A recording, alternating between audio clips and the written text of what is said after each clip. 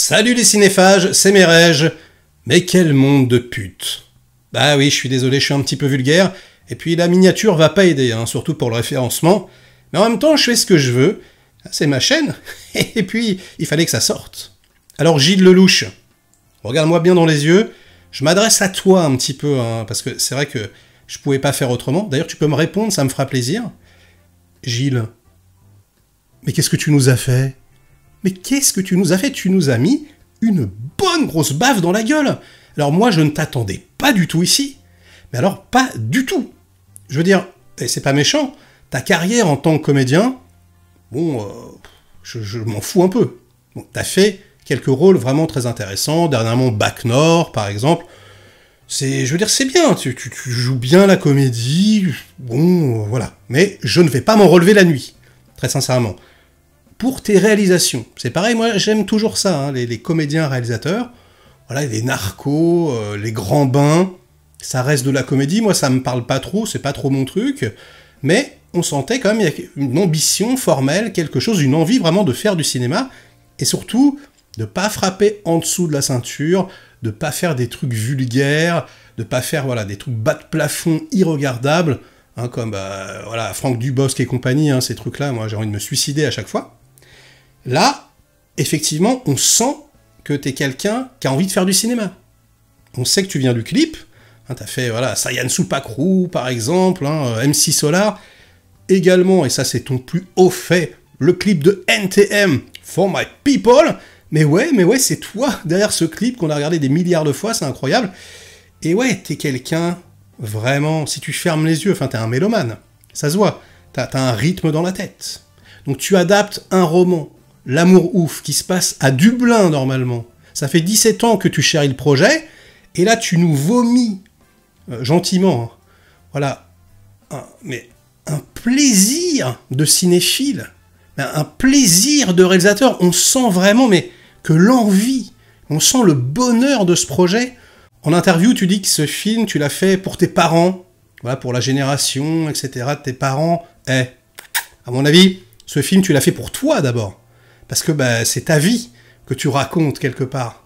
C'est les périodes que tu as chéries, que tu as vécues.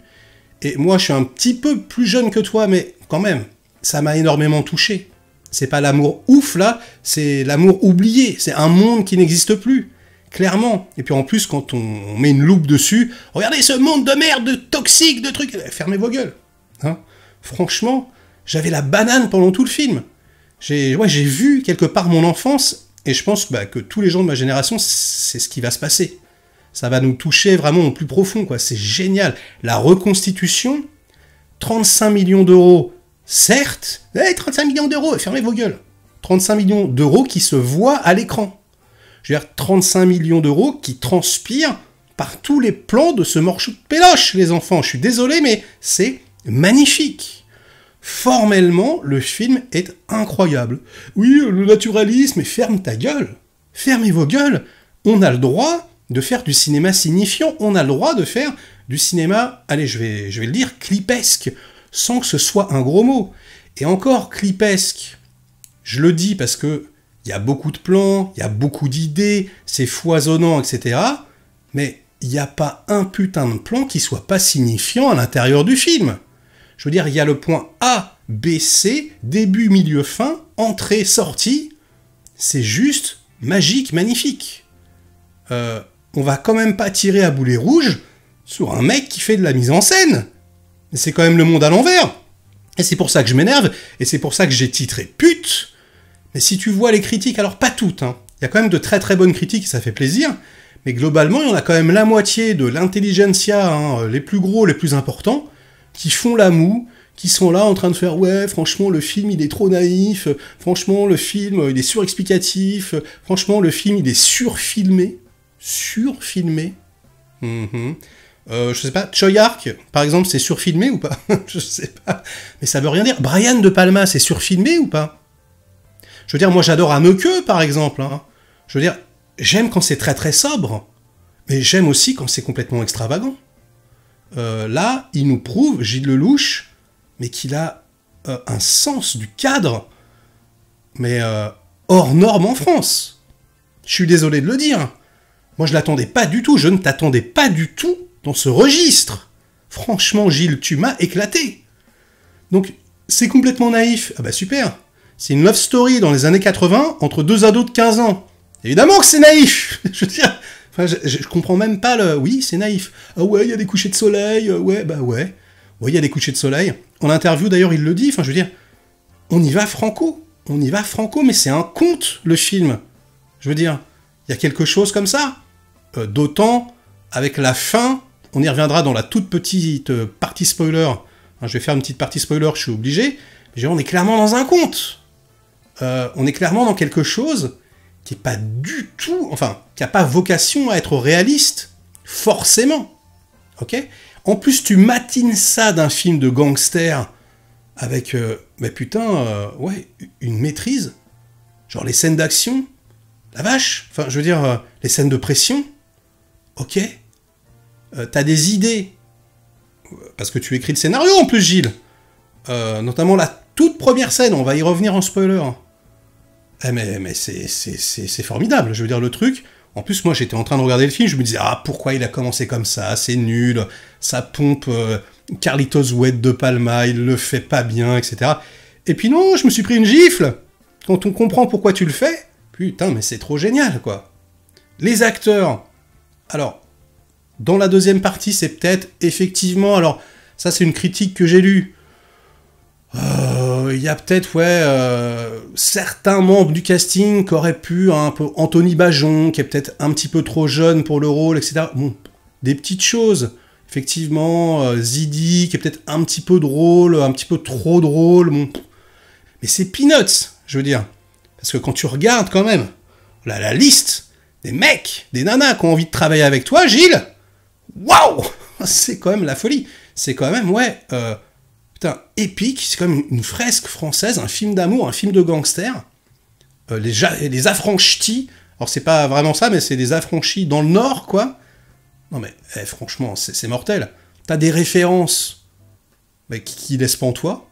Donc, euh, Coppola, Scorsese, euh, même d'une certaine façon dans les éclairages, surtout dans la partie musicale, qui est, pas longue, qui est super belle hein, d'ailleurs. Ça convoque Spielberg, il y a un côté, ouais, euh, kaléidoscopique, jukebox, avec de la musique comme ça, des, ouais, des idées de mise en scène qui sont en totale parfaite adéquation. Non mais attends, je veux dire, et là on a, voilà, le monde euh, des petites putes euh, parisiennes, de l'intelligentsia, là, blablabla. Ah oui, ah non, mais fermez vos gueules, et franchement, fermez toutes et tous vos gueules.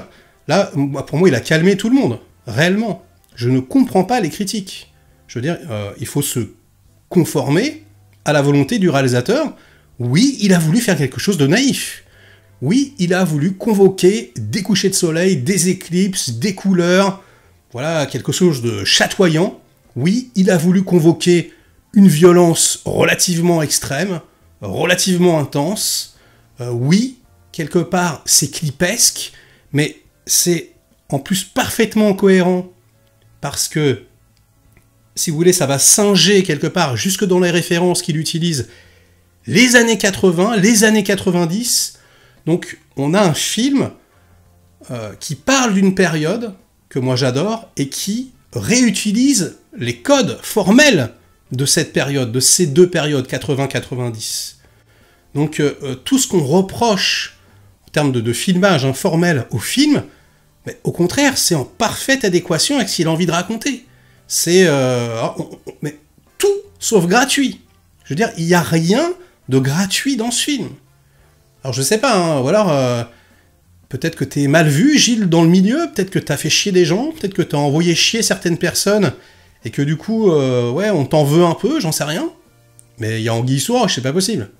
Parce que moi, euh, et encore une fois, j'aime énormément la sobriété également, il n'y a pas de problème. Mais là, dans ce registre-ci, qui en France a fait ça aussi bien Et depuis quand? Donc moi je suis désolé, euh, les amis, je mets deux pouces en l'air. J'ai pris mais un pied euh, incroyable. J'ai préféré la première partie parce que je l'ai trouvée plus naïve et, et plus touchante. mais je veux dire, la deuxième est très intéressante également. Pourtant, et oui, le film n'est pas parfait, il y a quelque chose de très dommage, et pour en parler, je vais devoir spoiler. Donc si vous ne voulez rien savoir, fuyez, pauvre fou, parce que là, je vais y aller, hein. là, je vais vraiment spoiler comme un gros cochon, et ensuite, ben, vous reviendrez. Voilà. Le film aurait dû se terminer avant, Gilles Merde, putain, qu'est-ce que t'as foutu? J'ai pas compris. J'ai pas compris du tout. C'est-à-dire que la morale que tu veux imposer, et le message, en gros que l'amour peut sauver de la violence, tu dois être quelqu'un de très violent, Gilles. Hmm. moi, je suis pareil que toi, hein. moi, je suis ultra violent, et c'est vrai qu'on sent que tu avais besoin d'exorciser quelque chose, et oui, c'est vrai que l'amour peut nous faire renoncer à la violence, ça, c'est une très belle idée. C'est naïf de fermer ta gueule, fermez vos gueules. Hein. Quand on est violent, il faut qu'on entende ça aussi. C'est super, sauf qu'on l'a compris. On l'a compris à partir du moment où tu sors ta plus belle carte poétique, c'est-à-dire la deuxième fin où tu réécris euh, la toute première scène du film. À partir du moment où ton personnage, il dit aux autres, sortez de la voiture, euh, voilà, on va pas y aller, on arrête les conneries, on a compris instantanément bah, que voilà, que l'amour l'a transformé. Fin du film. Je veux dire, allez, fin devant la cabine téléphonique. Voilà, quand ils se retrouvent, les deux, là, hop, voilà, générique. T'avais pas besoin de nous faire le discours de ouais, blablabla, puis ils vont au resto, et puis après ils travaillent comme un prolo. C'était un peu lourd, ça. C'était un peu lourd, c'était redondant. Il n'y avait pas besoin parce que tu venais de nous l'expliquer franchement sans parole, avec euh, voilà le, plan dont je parle. C'est franchement euh, une très très belle idée de cinéma, je trouve ça magnifique. Donc là, ouais, ça alourdit un petit peu le, projet, si tu veux. Euh, et puis ça dure longtemps en plus. c'est pas comme si c'était juste une scène de 30 secondes. Ça dure bien 10 minutes. 10 hein, minutes, un quart d'heure de trucs en trop. Donc, on va mettre ça sur le compte de la générosité. C'est vrai qu'en plus, je t'entends parler, Gilles, hein, en interview. Tu voudrais faire un cut de 3h30 Attends, attends, attends. Franchement, c'est très bien. Moi, je te propose de couper deux, trois petites choses. Mais ouais, écoute, Gilles, quel monde de pute. Mais ils se foutent de ta gueule. Dire, t'as fait un travail incroyable. Moi, je suis désolé, je te le dis. Le film, il est génial. J'ai adoré ça. J'avais la banane pendant tout le film. Euh, cette histoire d'amour euh, complètement naïve, elle est magnifique. Euh, cette violence explosive, elle est viscérale. Ce film est une petite pépite française. Moi, ça me fait trop plaisir. Cocorico. Et euh, bah, sur ces bonnes paroles, ce sera la fin de cette euh, vidéo, de cet avis à chaud. Likez-la si elle vous a plu, diverti un minimum. Délikez-la sinon, inondez-moi de commentaires comme d'habitude pour faire marcher le petit robot YouTube.